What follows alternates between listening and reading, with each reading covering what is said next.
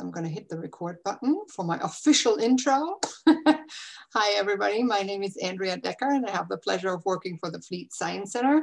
And you are joining us, in case you're not quite aware, for our SUDS and Science program. It's one of our monthly science engagement opportunities for adults.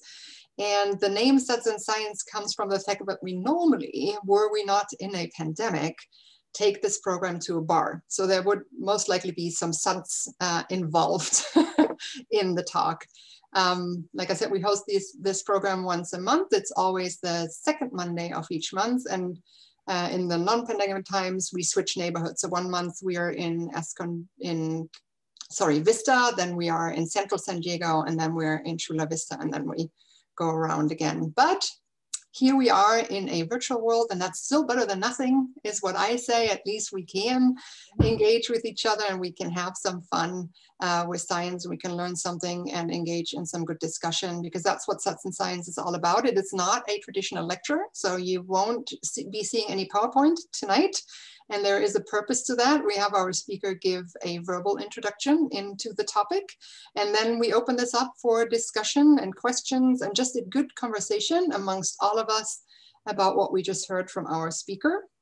Um, which I love about the program because I think it's much more engaging for the audience um, because you can ask and talk about this topic in any way that you would like. So you get out of the event what you would really like to learn from the speaker and um, about the subject. And I just love that. So the way this works is that for the first part, when our wonderful speakers, uh, Dr. Stacey Brydges will talk, I'm gonna record this and that's why I started the recording. But once she's done with her sort of official introduction into her work, then I'll turn off the recording and then I hope all of you will be able to turn on your cameras um, so that we can see each other. It just makes the conversation a little bit easier. You don't have to, it's all voluntary, um, but it just helps with having a conversation and it makes it a little bit more comfortable with speaker because sometimes you have the feeling you're just talking to a black little screen. Um, so with that, I hope that makes sense. We have the chat. So if you have a question in between that you want to ask, you can either unmute you and ask it, or you can raise your hand and I call on you, or you can put it in the chat. Um, and then afterwards, we'll get more questions and conversation going. All right, Stacey, with that, why don't you take it away? Well, thank you, Andrea, and I'm really excited to be here. And I want to thank all of you for joining us tonight, um, especially given the circumstances and the hour. Um, I'm really excited to have the opportunity to talk to you and with us. And I really look forward to the conversation we are about to have. Um, so to begin, just I'll tell you a little bit about myself. Um, I am a teaching professor in the Department of Chemistry and Biochemistry at the University of California, San Diego. I'm also Vice Chair of Equity, Diversity, Inclusion, and Climate for our department. And I hold a third role, which is as the Director of Education and Outreach for a new $18 million National Science Foundation funded research center on material science and engineering. And this is a center that focuses on predictive assembly as well as engineered living materials. And so I figured, so those are sort of title pieces, but I'm going to do as James Lipton would do um, on our Inside the Actor Studio. And he always says at the beginning, let's start at the beginning. So I want to tell you a little bit about myself. Um, I grew up in a rural part of um, called the Ottawa Valley, which is just about an hour outside of the capital of Canada. And through my K through eight education, I attended a small school. I had one teacher, in fact, um, for all of my disciplinary subjects, with the exception of French, um, where I had a French teacher. So I only share that because my true introduction or first introduction to science was really through my rural upbringing and my interaction with nature. Um, and the fact that in my community, it was very much centered around agriculture and farming, forestry and mining. So I learned a lot about where my food came from, both from the garden and, you know, from local farmers, including members of my family. And from that, I can wanted to say I'm going to fast forward from that early experience and jump over high school and get to being at university. And so I'm a first generation college student. And it was following my first year of studies in general sciences that I decided to focus my pathway on chemistry. And I really came to see chemistry as a central science. And that was really part of the attraction to that, how chemistry was really embedded within many of the other sciences um, in its connection to physics, the mathematical underpinnings of chemistry, et cetera. In addition, something that was really seminal for me as an undergraduate student were my early experiences in research, both which took place in industry as well as in academia. And it was those experiences that really changed the course of my future because true awakened to the excitement of what I was studying, and that I didn't want to end my studies there. And so this is the time where I decided that I would pursue a doctoral degree and really shift away from thinking about any other professional schooling. So I start graduate school and I quickly focused in on inorganic organometallic chemistry. And I spent my time developing my skills and as, as an experimental chemist. So in the research laboratory and, and also complementing that with um, skills in computational chemistry. So being able to use computers to study the molecules that I was synthesizing. And the focus of my work was really about designing and developing in the lab synthesizing and then characterizing molecules that we referred to as molecular propellers. So these were systems that were designed on mechanical principles that through external stimuli could behave as molecular machinery. So this was, you know, in early periods of time, the advent of the studies in nanoscience. So while I was very, very excited about what I was doing in the research lab, I also very early on was interested in my own development as a graduate student. And one of the things that I recognized quite early was that while I was getting a very rigorous foundation in research skills and practice, I was less so um, getting an education around the soft skills, so less soft skill development. And there was a time that I had an opportunity to actually write about that. And that took me to a level of advancing and representing graduate student interest at the national level in Canada. And at the same time, sort of serendipitously, my experiences in that arena led me and a number of other graduate students, a small number of graduate students in various science disciplines, um, to start an outreach program in the sciences. And this began because there was an interested parent who was seeking um, interested graduate students to go out to their children's school to do some outreach activities. And we quickly saw that this was something that we needed to expand. It wasn't about one parent, it was really about, you know, a broader community. And again, this links back to the soft skill development. So this is a program that we ended up, I myself and a colleague in physics ended up growing the program, linking it to a national program in science in Canada that is known as Let's Talk Science and getting a lot of external funding for this program. And by the time that I handed it over, because I worked on it for a couple of years at the university that I was at, McMaster University in Canada, we had grown it such that we had over 200 students graduate students in the science and engineering disciplines, as well as in the medical school, who are on a regular basis interfacing with K through 12 teachers in the greater Toronto area, um, working in their classrooms. And I share all this because this is what led me to the United States and actually drew the attention of programs at Columbia University. So I began officially my professional life at Columbia University in New York City.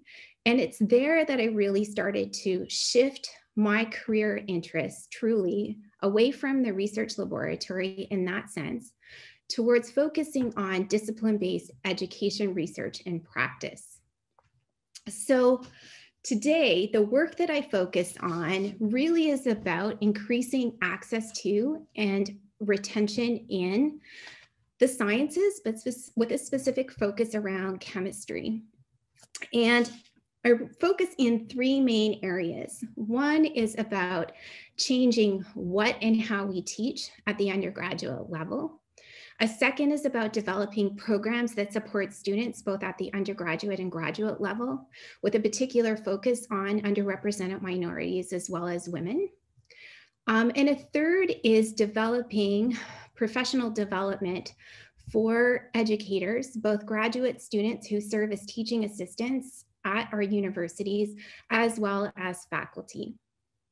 Now, I'm going to be focusing really on the first, which is the classroom, our science classroom, and the what we're teaching and how we're teaching. But before I do, I want to convince you that this is important um, and really highlight why it is that you know this is where I spend my time and this is where I truly am passionate about, about the work that I do and that I don't see it as work in fact.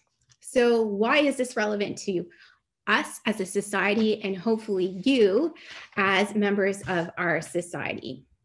So I want to think about and have us think about our science classrooms, right, at our university. In those classroom sits our future lawyers, our future doctors and nurses and other medical practitioners, sits our future government leaders, sits so many individuals who are going to go on and take seats and positions in our society. And for some of them, in sitting in that classroom, it may be the first and the only experience that they have in science at the university level. And for others, it serves as a foundation for future studies in chemistry, as well as future studies in science and engineering. So here's what we know. Regardless of their career paths, we know that all these students, each and every one of them, are going to need to use their science knowledge and hopefully will have developed an interest and an engagement in science so that they can engage in our society. They are going to have to use that information. And so for their participation, right, whether it comes to issues of climate change, whether it comes to issues right now we're dealing with the pandemic of COVID 19, science underlies every aspect of our daily life. And this is the premise of science literacy.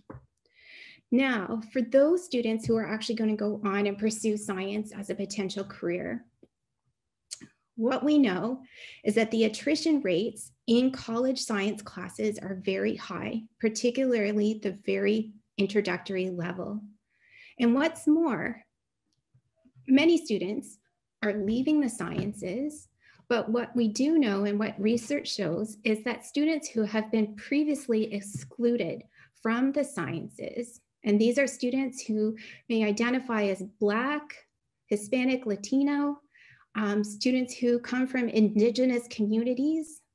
These students, though they at this point are actually represented on parity with um, our nation's talent pool. And when we look at, you know, even within a state level, that these students leave at a much greater degree. So the attrition is even higher for groups of students that we can call peers. Previously excluded um, individuals um, based on ethnicity or race.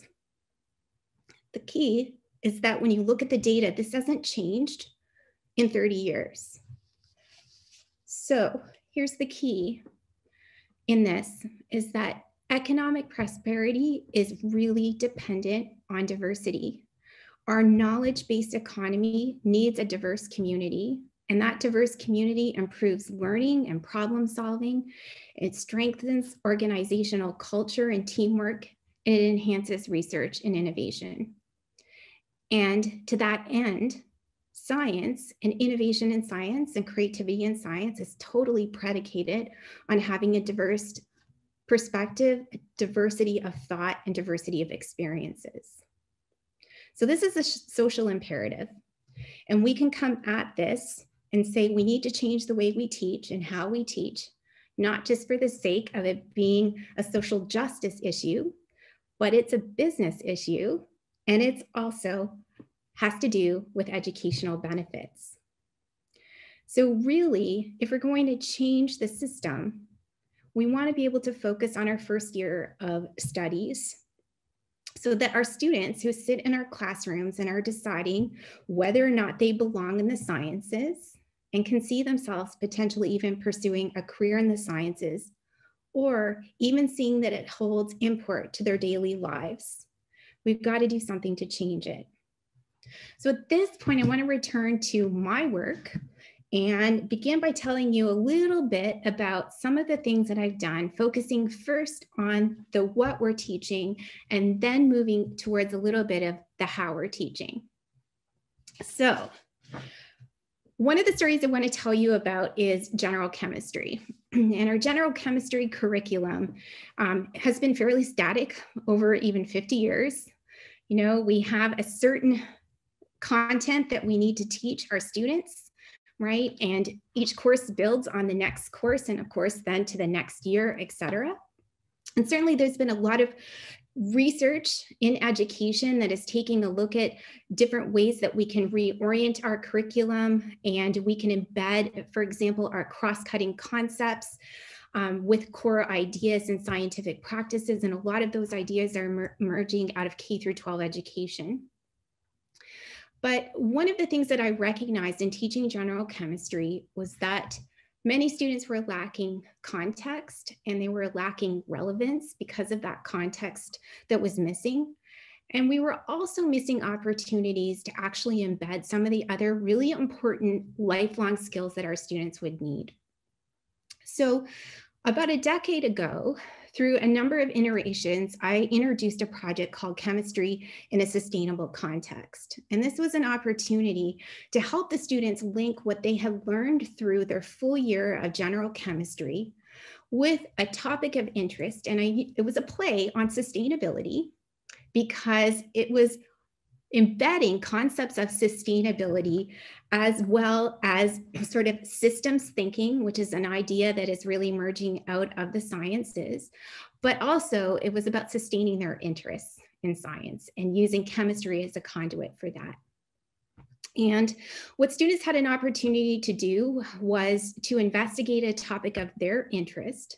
And the key was they were guided through the whole approach to conducting research in the literature. And this emerged with work um, in collaboration with our library at UC San Diego and content librarians as well as librarians with an education specialty who helped me to build instructional videos that could be parsed out and over a course of an academic term students would be learning and practicing the skills of searching the literature making sense of the literature questioning the papers that they found making a distinction between primary secondary and tertiary literature and understanding the bias that perhaps they may encounter, thinking about all of that. Who is publishing it? When was it published? What is the expertise of this individual in the field? And at the end, the students also went through the process of learning how to communicate more effectively and adopting or changing, I should say, a role that they had a, a, lot of practice in their writing classes, but writing for one particular audience. And so teaching them how do you write a scientific paper that's going to be published in a journal format for an audience that is of your peers. And students had the opportunity to not just write a paper, but also if they wanted to, to produce an instructional video. So this was a really transformative experience and it's something that I've been able to acquire a lot of pre and post data on and tracking students both success and interest in this, but also seeing how students would be able to navigate an experience like this when they had a lot of choice, and choice is a really important piece in education, right, in terms of motivation. Um, but connecting that to, as they were encouraged to either their major or their potential career goals or simply an interest that they had. And to give you an idea, right, students might be exploring a new research study that had come out recently in some area of nanoscience. They might have been exploring topics in um, more related to a career that they were hoping to pursue in medicine. And, you know, it was just very large. And in fact, the suggested topics that were categorized or choose your own, there were more than 50. And I would highlight here that this consistently has taken place in classes, general chemistry classes, that are typically of 300 to about 420 students in a given class.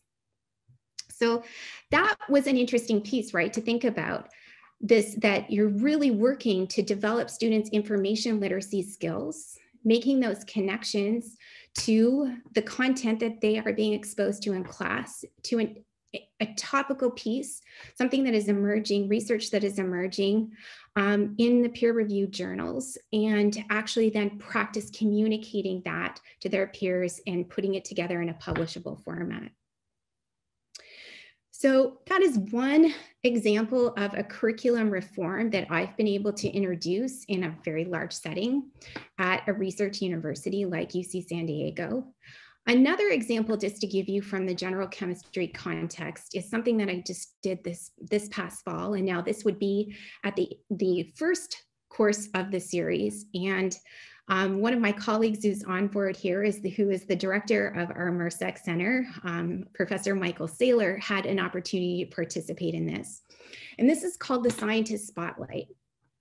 And this is actually yet again another um, another type of or exercise or tool that has actually undergone a lot of research and shown to be um, very effective in its impact on helping students develop a science identity as well as maintain interest in the sciences. And the key is that we um, have missed the point often that students, in terms of seeing themselves within scientists, we often have focused on presenting students someone that looks just like themselves or has had a path just as they have had. And instead, what research, excuse me, research has shown is that students who are exposed to a diversity of scientists who may have had very, very different pathways than the students themselves, don't necessarily have to come from the same cultural, ethnic backgrounds as the students, for example, but who through that the way that the exercise is actually um, incorporated into the curriculum, the students have an opportunity to hear more about who is practicing science and the paths that they have taken. And so I'll just say that this was a wonderful opportunity, even in a Zoom setting, working within that to adapt this kind of exercise to an online environment and to invite scientists into our general chemistry classroom online, which in the fall at UC San Diego was a class of over 600 students who had the opportunity to be exposed to scientists in industry as well as academia. And for many scientists reading their reflections about what it was like to hear the stories of scientists and to actually learn from them and just be exposed to science that was taking place and was current was transformative. And so that was really exciting. Now, that is just a few examples of sort of curricular transformations focused on general chemistry. And I would be remiss if I didn't mention that a lot of my other efforts are focused in also on the lab component. So our lecture and lab courses at UC San Diego are separate. So over the last few years, I've been working on various renditions of our general chemistry laboratory for specifically for chemistry majors. And part of reinvigorating our curriculum there in the lab has been to really um, embed not just current modern techniques and and um, modern lab experiences, but to really reinforce the attainment of scientific practices within and to help students really see that what the experience of a lab course is really intended to be. And so that is very exciting because we've been able to introduce um, various innovations in terms of plastics synthesis and analysis to um, biodiesel synthesis. And I'm hoping in the future to connect this up with our new MRSEC Center to introduce new materials as well as computational work. Now I'm watching time. So you can ask me later following this, but there are many other curricular pieces that I am excited to tell you about. Um, one, which I'll just hint at, is the use of a high impact practice. And these are practices that are known to really improve access and not access, I shouldn't say that, but retention across all of undergraduate studies, not simply the sciences, but one are our early seminars. And there is a sem seminar that I've developed that has to do with really about science and science literacy and engaging students in really experiencing and thinking about how we learn and how in fact we learn in informal contexts like the Fleet Science Center and how that is complemented by, but also quite different by formal contexts. So that's a really fun piece of yet again, just trying to really change things up in higher education. But I wanna get to the last piece here, which is it's not just about what we're teaching, but it's about how we're teaching. And the two go hand in hand in many ways. But I think one of the things that I would highlight here is that we have recognized over time the importance of what are called inclusive pedagogies. So this is with intention, really considering evidence-based practices such as active learning, such as incorporation of motivation and mindset, and teaching students about this in the classroom, such as many other very small interventions, utility value interventions, and other things that can help students develop a sense of belonging in the classroom, but that can also foster community so that is another big part of my work and i think it's a really exciting area for all of us in education but it also has implications and spreads out to us thinking about it in a broader context of the students and the individuals that we mentor for example um, in research settings. So before I end, though, and very much connected to this idea of inclusive classrooms and diversity in science and the importance of that and what we can do to change things in the undergraduate classroom, particularly, particularly, excuse me, at the first year level. I do want to tell you about some research that is ongoing um, between myself and a colleague in the Division of Biological Sciences at UC San Diego by the name of Stanley Lo, as well as um, graduate students who are part of the Math and Science Education Doctoral Program, which is joint between UC San Diego and San Diego State University. And so we got interested in this project a couple of years ago, and we asked the question around diversity and connected to inclusive classroom spaces.